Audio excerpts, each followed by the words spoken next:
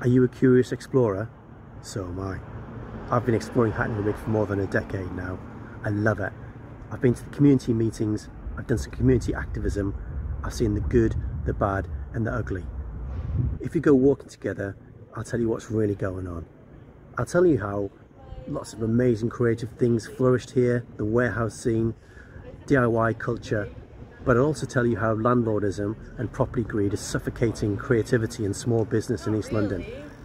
We might wander off into globalisation, capitalism, and the nature of the sort of cities that we want to live in and who they're for, and the role of arts and culture. If you like East Berlin, if you like talking about things like this, going deep, then you'll like this walk.